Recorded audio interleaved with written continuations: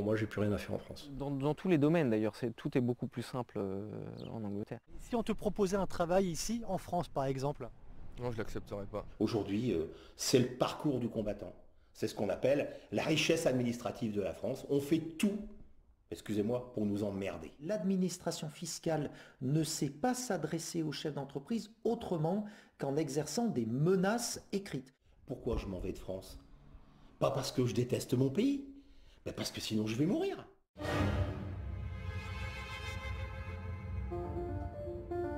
Chaque année, près de 80 000 Français quittent le territoire. Ils étaient près de 300 000 pour la seule année 2013. Ils s'ajoutent aux 2 millions de Français déjà installés à l'étranger. À ces chiffres donnés par l'INSEE, il faut préciser ceci. Le nombre de retours au pays est faible, alors que l'entrée d'étrangers en France, environ 250 000 par an, ne cesse pas depuis les années 80.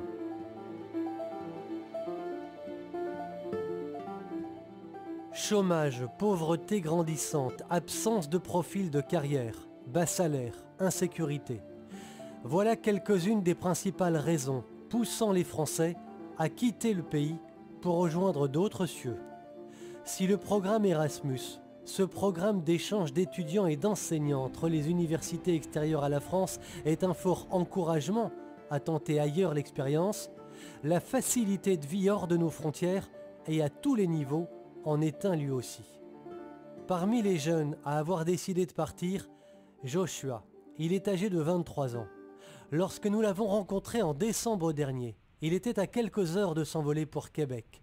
Québec, où avant même de partir, il avait signé un contrat dans un restaurant. C'est que là-bas, les gens, ils sont euh, accueillants, ils sont généreux, ils sont, euh, ils sont pas divisés comme en France. En France, tout le monde est divisé, tout le monde se tire dans les pieds. Et, euh, surtout, bah, j'ai déjà mon, mon employeur qui m'attend et puis que j'ai un métier qui me permet de voyager. Je bosse en restauration et que j'ai envie aussi de découvrir le monde, voir ce qui se passe un peu ailleurs, autrement que la France. si on te proposait un travail ici, en France par exemple? Non, je l'accepterais pas. Non. Non, terminé. Parce que, parce que je bosse dans la restauration et que dans la restauration, on est un peu considéré comme des esclaves. Je faisais à peu près entre 50 et, entre 50 et 55 heures par semaine payées au SMIC. Est-ce que tu as déjà travaillé ici en France J'ai déjà travaillé ici en France, j'ai eu beaucoup beaucoup de patrons, que ce soit en restauration ou dans d'autres métiers. Et voilà, je trouve qu'en France, on n'est pas assez payé pour ce qu'on fait. Autre jeune Français à avoir quitté le territoire, Maxime. Il a 29 ans. Il revient du Royaume-Uni. Il travaillait dans un restaurant. Nous avons rencontré Maxime il y a quelques jours, lors d'une escale dans sa famille en Bretagne. Dans quelques semaines, Maxime rejoindra l'Australie où il a d'autres projets à Bristol, où il vient de passer trois ans. Il s'est rendu très vite compte que la vie y était bien plus simple qu'en France. Dans tous les domaines d'ailleurs, tout est beaucoup plus simple euh, en Angleterre. Euh, au niveau administratif ou même au niveau de la vie de tous les jours, si vous voulez, c'est quand, même, bien plus simple. je me souviens quand je suis arrivé en Angleterre que j'ai commencé à chercher un logement. Tout se fait très simplement. Là. Euh, compte en banque, c'était fait en une heure. alors quand vous, pour travailler, ils vous demandent de passer au Job Center et d'avoir ce qu'ils appellent le NIN, le National Insurance Number. ça, c'est un peu comme le numéro de sécurité sociale, si vous voulez l'espace, je pense qu'en l'espace de 2-3 semaines, j'avais mon IN, mon compte en banque s'était fait en, une matinée, le logement, je l'ai trouvé en peut-être une petite semaine. Ça n'aurait jamais été le cas ici en France Je pense que pour un étranger qui, vient en France, c'est plus compliqué. Et je le vois, par exemple, moi, il y a deux, euh, chefs avec qui euh, je bossais au restaurant, dans le, bar à vin, euh, qui ont tous les deux bossé à Paris pendant un an pour l'un et deux ans pour l'autre. Et ils m'ont tous les deux dit quand on est arrivé à Paris, c'était un enfer. À cet enfer administratif dont parle Maxime, il faut ajouter l'enfer fiscal subi par les entreprises. Dans ce graphique que nous avons réalisé à partir des éléments de l'Eurostat, un département statistique de la Commission européenne, nous voyons que la France détient le triste record des prélèvements fiscaux.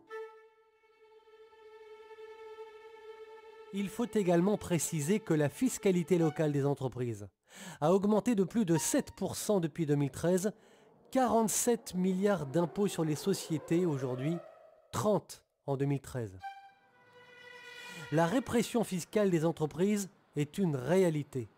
C'est ce que nous confirme un expert comptable, commissaire aux comptes, que nous sommes allés interroger dans la région de Grenoble. Il s'appelle Philippe Massoubre, il s'occupe d'un portefeuille de plus de 150 entreprises. La raison essentielle de leur départ est la répression fiscale. On a donc dans ce pays, et ça peu de gens le savent, une répression fiscale, mais pas uniquement, aussi une répression administrative, d'une façon générale, qui dissuade euh, les meilleures volontés. Pour euh, être en contact en permanence avec des très petites entreprises, je peux vous affirmer que les chefs d'entreprise doivent consacrer une énergie et des budgets tout à fait conséquents pour faire face aux demandes répétées de l'administration. Il faut savoir que l'administration fiscale ne sait pas s'adresser aux chefs d'entreprise autrement qu'en exerçant des menaces écrites. Tous les courriers de l'administration qui sont des imprimés CERFA comprennent des dispositions qui sont clairement indiquées où il y a des amendes, où il y a des pénalités, mais parlons aussi de la répression sociale. Le droit du travail en France, c'est 3000 pages de droit du travail et 962 conventions collectives. Je ne vois pas comment on peut faire autrement qu'ignorer la loi de toute bonne foi quand on a autant de textes. Répression fiscale, répression sociale, ce sont là les principales raisons qui font fuir petits patrons et travailleurs indépendants. Arnaud Potier par exemple, il était patron d'une entreprise de 20 salariés en Bretagne. Il a tout vendu il y a quelques mois. Son entreprise, créée de toutes pièces, spécialisée dans la fabrication des maisons en bois et qui faisait travailler 15 sous-traitants, fonctionnait fort bien, mais à raison de 12 à 15 heures de travail chaque jour. Nous l'avions interviewé dans ses locaux de Pont-l'Abbé, peu de temps avant qu'il ne mette fin à son activité. Tout est compliqué, tout est, fait pour emmerder le monde. C'est, on a nos gouvernants il y a Macron aujourd'hui, mais bon, il n'est pas plus, il pas pire que les autres, pas mieux, mais ils font rien. Ils sont détachés de nos entreprises. On est 3 millions de PME. Ils se foutent de nous. Ils sont, on est juste là pour raquer. C'est-à-dire qu'ils veulent de l'argent. Ils en trouvent. Ils épuisent. Ils épuisent les PMI, les PME. Ils nous épuisent. Pourquoi je m'en vais de France? Pas parce que je déteste mon pays, mais parce que sinon je vais mourir. Combien de milliers d'entreprises se barrent Vous voulez dire, Arnaud Potier, que si vous n'aviez pas pris la décision de partir, vous pensez que votre entreprise aurait été mise à mal tôt ou tard? Bien sûr. La fiscalité. Parce qu'on parle de l'administratif, on parle de, nos, de nos problèmes, mais derrière, il y a la fiscalité. Ils tapent partout.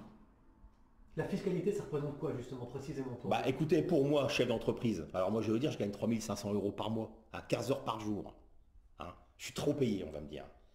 Quand je prends 1000 euros dans ma boîte, il va me rester en tout et pour tout, après avoir payé mes charges, à hauteur de 60%, donc moins 600. Mon impôt, parce que j'ai une tranche d'impôt à 42, il va me rester 250 euros sur 1000 euros. Donc je vais avoir, je vais avoir une taxation de 75%. Qui l'accepterait aujourd'hui? Quel individu en France qui accepte ça aujourd'hui? Le ras-le-bol de cet ancien patron breton n'est pas une figure de style.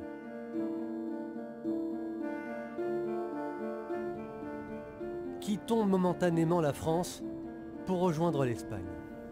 Nous nous rendons à moins de 120 km au nord-est de Barcelone. Nous avons pris rendez-vous avec un Français âgé de 45 ans, Stéphane, qui pour des raisons que l'on peut comprendre a choisi de ne pas paraître à l'image, nous accueille dans son appartement au bord de la Méditerranée.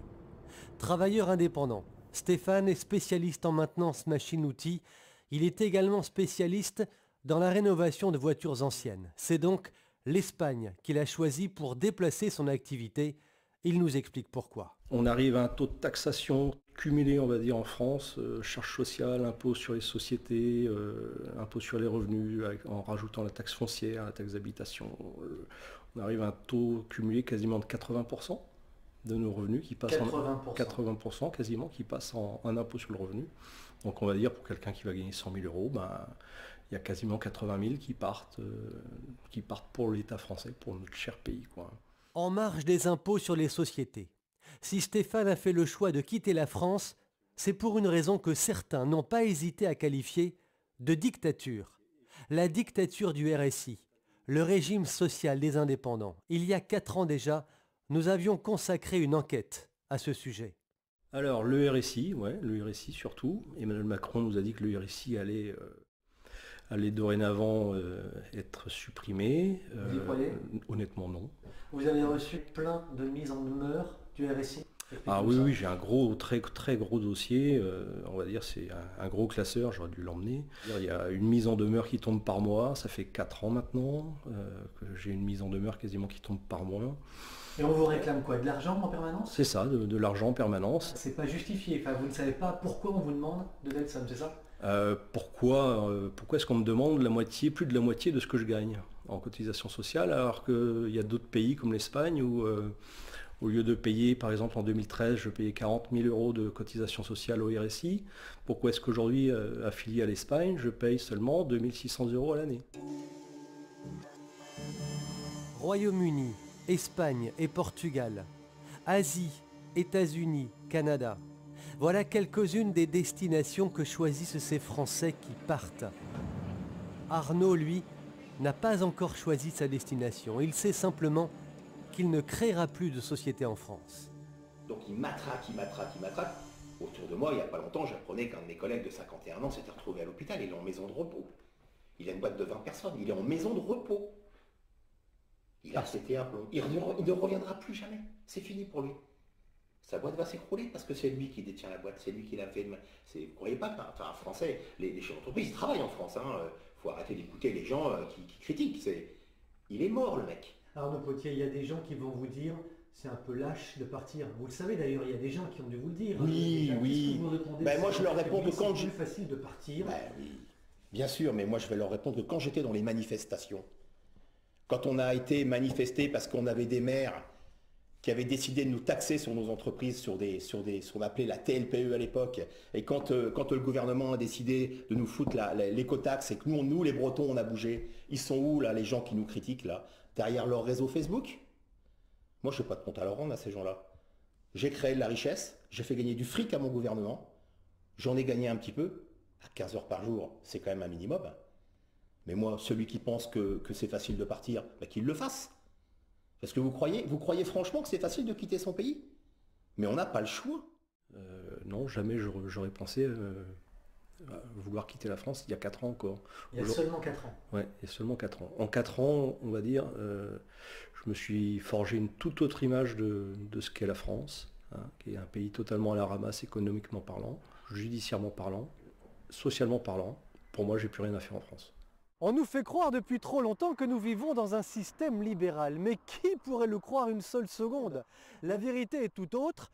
La vérité est que la France subit de plein fouet un système socialiste totalitaire, un système qui étrangle, un système qui étouffe par les taxes et par l'impôt.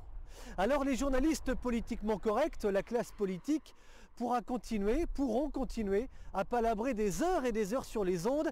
Les faits sont là car les faits sont têtus. Ce système mis en place il y a de nombreuses décennies est un système qui vide la France de sa substance. Les hommes politiques, la classe politique dans son ensemble devra rendre compte un jour d'un bilan aussi calamiteux.